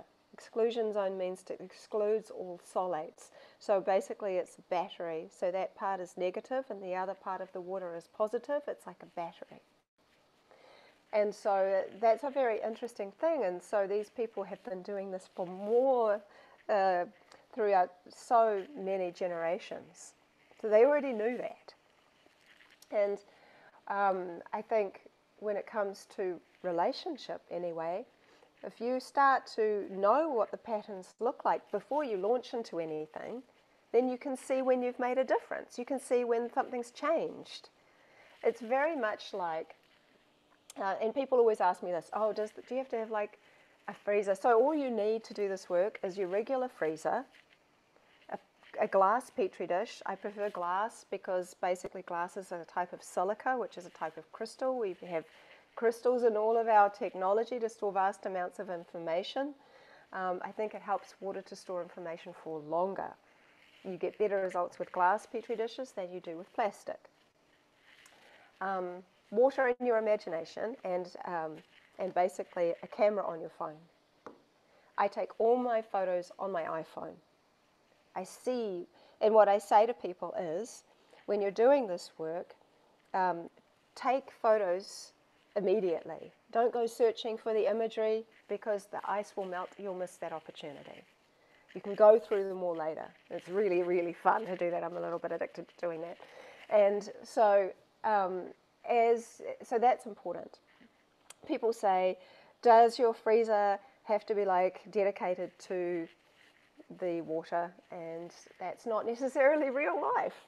Right now, the freezer I'm using is chock a block full of stuff and um, I'm adapting to the new freezer here in the States. And um, what, anything that is already frozen is in a state of suspension, so you don't have to worry about water picking up on that information. People say, "Oh, do I need to um, be having like a perfectly zen space with candles and incense and everything like that, and be like, you know, in the space?" And of course, maybe water would love that, then you'd probably love that if you can have that opportunity, but that's not also necessarily real life. You can do it if you like, and that would be great. But my real life doesn't always look like that. usually my life is like children running around, the next door neighbor's dog barking away, stuff coming and going, things happening, phone calls, and blah, blah, blah, blah, like real life stuff. So when it comes to relationship, I say this relationship with water is kind of a love affair, really. Um, when you really like somebody and there's this connection and you or they ask you out on a date and you go out to the cafe or the restaurant or wherever, you're so excited to see them and your focus is on them. And, and as we know, you know, when you focus your light, your light is entering them, their, their light is entering you. And there's all kinds of stuff happens. The waiter or the waitress will come and serve you, and there'll be lots of people around you. There'll be all stuff going going on, but your focus is on that person. You're reading their energy. You're looking at their face and their features. You're listening to what they're saying. All of this kind of stuff goes on. And so whatever is going on around you doesn't matter because you're just happy you're there, having a bond, a relationship with the person. And so, very much in the same way, as that relationship develops positively, if it's a healthy relationship, it's going to develop where you become more and more and more and more relaxed, more comfortable, more transparent, more yourself. Eventually, it comes to a point where it really doesn't matter if your hair looks like absolute crazy in the morning and your breath could kill a goat. It doesn't matter because it is that part where that person loves you no matter what. They, they, they, they really see you. And if someone really sees you, they're not just seeing you in the physical, they're feeling you so much deeper than that. There is a bond, there is a love. And so when it comes to this realm in relationship with water, that's why I always suggest that people just observe to begin with. Start, don't go from zero to hero and go like, right, you know, now I'm going to experiment on you. And that's not a relationship, not a healthy one. And so as we go into this, it's just more around staying in that place of curiosity, interest, respect. And it always starts with us, within us. We're bodies of water, of living water. And that is so important because everything I'm seeing really in this realm is reflections of what I'm seeing. We see everything, everything. If we can see visually, we see everything through the realm and the lens of water because our eye lens is 99% highly ordered structured water. There is nothing we look at in this world that is not seen through water. So if eyes are the windows to the soul, and tears are an expression of spirit. And I think that when we see ourselves, when we see other people and we look them in the eye, there is a knowing, there is a recognition, there is a releasing. And we don't hold, need to hold on to all of this stuff that we collect that doesn't serve us anymore. If you think about what the human body can do, we can urinate. Urine is such a wonderful thing because you can simply release. And when you I always say, if you just take one glass of water, and that one glass of water, you you say to it and you think about it, and you think that this glass of water is able to flush away what I do not need anymore. And I always say to people, what was the last word you spoke before you drink water? Because I've done a lot of studies on saliva that suggest that it knows what you said. We tend not to think about what the last word we spoke was when we eat or drink, but that's the first thing your water, outside of your conscious expression, your water is going to actually come into contact with, is in your mouth with the saliva. It's sharing information. It's not so much anymore, and I really don't think so, about what the water can do for you. There's all this thing about structuring the water and making the water so this and this and that so that it's going to heal you. You can heal yourself. That's all we actually ever do. Be, we can be given medicine, we can be given treatments, we can be given all of these different kinds of things, but it's your body that heals. You are the healer, you're healing.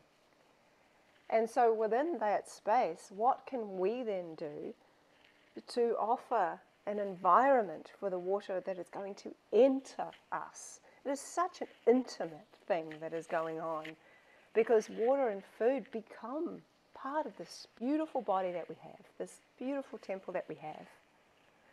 And so, as we start to form relationship, and we think, oh, what was the last word? It's the power of prayer. It's why the ancients and many people pray or say something beautiful or they're grateful before they eat. Because that's the last word they spoke. It's in resonance. There's this vibration in your mouth which is going to take it in and assimilate it into this body. But what is not needed, what you don't want, we think we don't have any power. We have so much. And we're able to then take that in, that water, that special water that we've said, I'm going, I want to use this water to take away what I no longer need so that then that can be transmuted back into. See, whenever you release water through urination, in our minds, we don't like the look of the toilet. No way people would like the idea of going down there. It's like, oh, hell no, I don't want to go down the toilet. But that's not what water is like. Water doesn't think like that. Water isn't in judgment. We don't even really know what it's like to not be in judgment. We judge everything, even the fact that we don't think it looks like fun to go down the toilet. We don't want to do that. Of course not. Nobody wants to go down the toilet. But water is going down there all the time. When it's not no longer in the human body, it's no longer contained to fear. When it is released, it has no fear. It goes back to the being of the observer. It's so simple. It's only this container, this container of memories. Really, we're so lucky, I mean, in so many ways. Because if we think about it, science can tell us that water can store vast amounts of information. There's lots of different studies that have been done on that on very scientific ways. Um, you need to you can, you can look at Dr. Jerry Pollack's work specifically. And then if water stores information, yes, and people store information, we do, of course. We have memories. Well, if we look at our entire life, and we look at all, if we think back, all we can do about a second ago, it's the same thing as 20 years ago and same thing as when we were born. It's a memory. It's really a memory. We're bodies of water that make memories. And last year, my godfather, Dino, just, oh, I, used to, I spoke to him nearly every single day for 20 years and he transitioned very suddenly.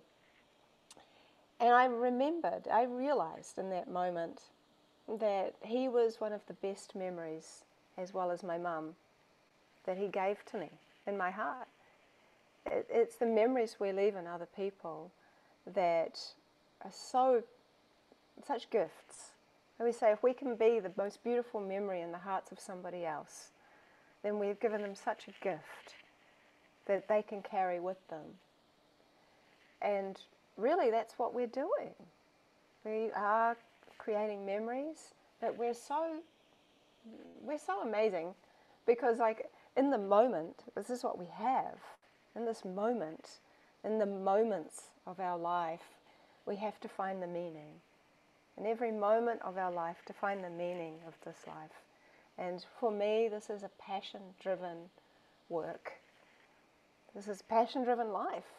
It doesn't feel like work because it's fun, but it involves and it, there's, it touches on so many aspects of, of what it is to be human, like what it is to love. Um, and I've just seen the time and I'm, I'm going to have to cut it really there. I'm so sorry because I, I have to hop on a, another call soon. No. But, do you have time? Do you have time for any questions? I, I do. I've got I've got about eight to 10 minutes. Okay, well, if people have questions, please uh, chime in. Raise your hand if you have a question. Um, I see Sadia has her hand up. Let me um, let me let Sadia answer a question. Ask a question. Sorry. Thank you, Veda. That was amazing. It was phenomenal. I was just blown away by everything. I want to hear way more, um, but I'll be really quick. Um, so I heard that water that's stored in like plastic or like for the tap water is kind of considered dead water. So what would you like recommend to bring it back to life? And then what kind of water do you drink? Some of my most commonly asked questions. um, well, I always think the best water to drink is the water that's in your glass because there is a kind of uh, um, racism almost when it comes to water. that we think one is better for the other because we're expecting something outside of ourselves to heal us. And so uh, all water has, has significance, even tap water and dead water. Um, although, of course, you want to be drinking healthy water. That's important. You know, you need to make sure that it doesn't have lots of heavy metals and all these kinds of things in it. So, firstly, I love glass. And I always say to people if they can get a blue glass container, um, a cobalt blue glass container. Um, a friend of mine in Hawaii saw some really lovely ones, um, and she's called Blue Bottle Love. Now, the, the importance of blue glass and water and light. So you can put that blue glass bottle, get the best water you can. Um, I always say, if you can, there's a, there's a, in America anyway, there's um, a website called Find a Spring. I think it's for all around the world. Helps you find a spring that's a drinkable spring where you can actually go to. There's a huge difference between going to collect water on a kind of pilgrimage and, and collect the water yourself compared to going to the store and buying water. A different relationship starts to happen. But a lot of people cannot do that, of course, and that's not always viable for, for a lot of people. But um, what I'd say is um, when you collect the whatever what best water you can, put it into a blue container.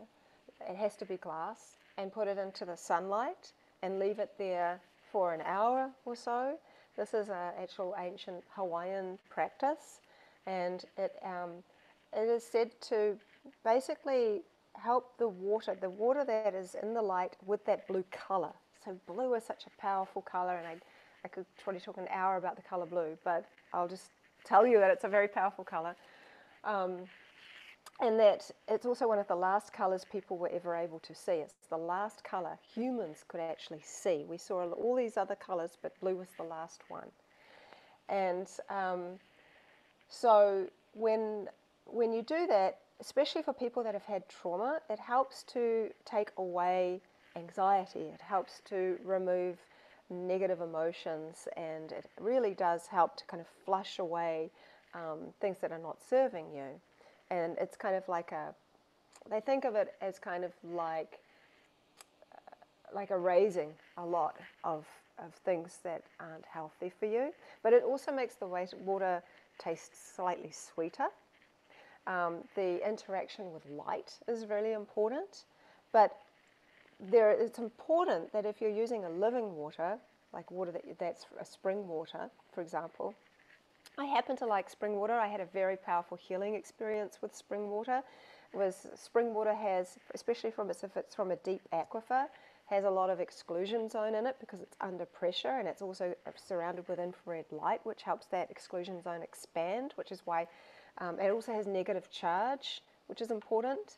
And so when we're going into that kind of realm, um, I think that if you store your water in blue glass, keep it out of the light. So if you don't have blue glass, keep your water out of the light. Living water, like um, I always think all water is kind of living in a way, um, but spring water, for example, which you can get from the supermarket. If, worse, if, if you have to drink tap water, just drink filtered tap water. I'm not a fan of ionizing machines. It's essentially electrocuting water into submission and although there's a lot of people saying that, that there's this health benefit and that health benefit and this health benefit, the only real health benefit I think from ionized water is that it makes the water have more molecular hydrogen, but you can get just as effective molecular hydrogen gas, and I would say that that would be a better way rather than destroying the structure of the water. Um, and when you go to the supermarket, try to find a water that's actually in a darker glass because water doesn't like unnatural artificial light and it destroys it st- structurally. It makes it very sad. Um, but you can just get whatever water you drink normally, put it into a, a bottle that's got some importance to you, and hold it to your heart, like as if it's a baby. Your, your heartbeat tells you what's going on in you. It's sharing information about where you're at in your life. Just like if you hold a seed in your mouth for however long, the saliva is sharing the information with the seed. When you plant the seed, the plant will grow with all of the extra minerals and things like that that you're lacking. So it's medicine for you. So when you hold the water to your heart, what you're going to find is that that water is receiving the information that you need and it will structurally change to become a kind of medicine for you. Um, so, I mean, you can also, to enliven your water, you can just, especially if you don't, a lot of people don't have a lot of money. So, but most people have got like a spoon. So you can like stir the water one way, stir the water the other way. Water loves to vortex. That's what it does in its natural environment. It doesn't like right angles. That's why it doesn't like piping. And it loses an electron when it goes through piping, um, which means it doesn't have as many, as much scaffolding, should we say, to design. Um, you can get a little bit of silk and actually just filter your water through some silk. Um, you can, if you have a blender, you can put the water through that. It creates a kind of tornado, and you can simply put your thoughts towards the water and really connect with the water. Um, you, there's, there's so many, many things you can actually do. There's all kinds of different restructuring devices on the system. We forget that's what we are, though. We're the destructuring system. We're the vortexing system. We actually really are. So if we actually just work on ourselves, in ancient times, the job of water was simply not to heal us. It was our job to make sure the water was healthy. It was our job to look after this body and the water within ourselves.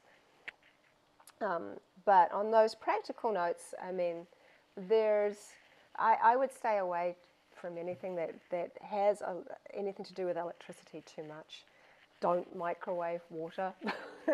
the, it, just, it really destroys the structure. I've shared multiple photos of before and afters of what that looks like. Um, and even uh, uh, a lot of things with EMF. Um, so uh, the the encouraging thing, I think, is that one of the things EMF takes away is um, magnesium. So if we make sure that we have a lot of magnesium within our body or magnesium rubs, these things can be very helpful. I know I'm off topic now, but um, I can go on for ages. But I hope that that was help some help. so much. I just real I really want to say thank you. We want to make sure you get to your next commitment on time, but I'm just going to put your book cover up for people to see.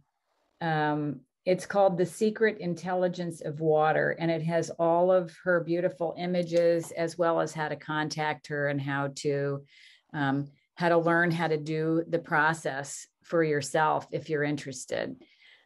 Yeah, you can go on my website and um, just learn how to, to actually do it all yourself. Or I've got a, a workshop coming up on the um, on April the 30th um, so basically, I, I, always recommend them because you get everything. You get the guide, and you get the hydroglyph PDF, and you get time with me where I keep the group small so that everybody's able to.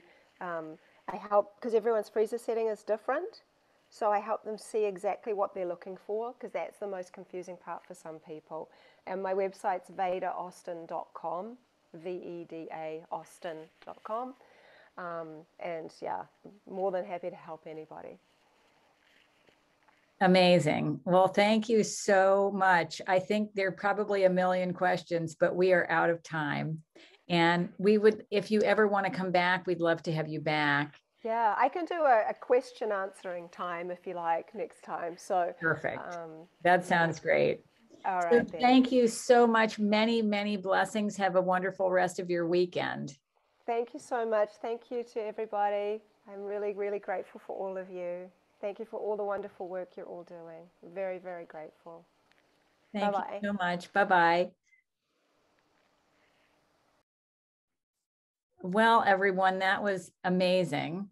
And um, I'm going to uh, turn it over to Mayumi for a minute to um, to do a little closing. And, if there's um, I also want to share something uh, because I saw a talk from uh, Into the Mythica with Jocelyn, and she was interviewing Dr. Maria Ward, who is um, very much involved in uh, the unconsciousness and dream work and psychology. And she showed this sort of picture. You may all be aware of it, but for me, it was just another perspective, just from the earth and seeing the Pacific Ocean just on one side, and on the other side is all the land. So it's kind of the yin and the yang. And she kind of also mentioned like um, it is also the unconsciousness and that you know we as humanity should also tap into that more. And even though it is unconscious but it also has the consciousness as well. And i thought it was just a, another way uh, of seeing this perspective. And um, yeah that the waters on the earth is about two-thirds but also in our bodies or maybe even more than that. So it's just so all related and um, yeah i just wanted to share that as well. So um, let me pick uh, the poem uh, that we selected um, so it's a blackwater pond by mary oliver uh, at Blackwater Pond, the tossed waters have settled after a night of rain. I dip my cupped hands. I drink a long time. It tastes like stone, leaves, fire. It falls cold into my body, waking the bones. I hear them deep inside me, whispering, Oh, what is that beautiful thing that just happened? So it kind of all really tunes in nice, nicely with Veda's amazing talk. Um, there's probably not really much that I can add to her amazingness, but for the closing, I would like to invite you all to, uh, yeah, maybe close your eyes and that we are in a circle and connected and with the waters. And I thought also to call upon the goddess of the sea uh, in the Anyun, we say Mama Koja, and the goddess of the rivers and the lakes is Mama Ohyo. And we connect with each other and these beautiful goddess and spirits, the water spirit. And then we kind of zoom out and see that perspective of the earth. As I just mentioned, on the one side, we see all the waters, the Pacific Ocean, and on the other side, the land we live on, like the yin and the yang.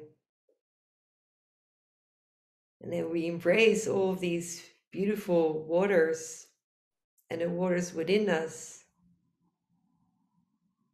And that we can connect with these waters and shine light on these waters also for humanity that even a little bit of light can shed some of that unconsciousness that is actually yet conscious and just to remember and i just want to stay there for a moment with you all. And to shine that light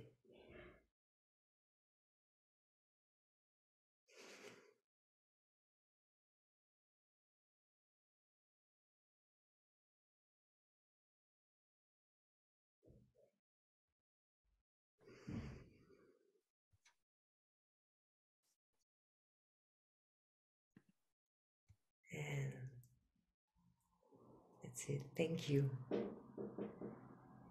Oh. Thank you, everyone. Have a wonderful rest of your weekend.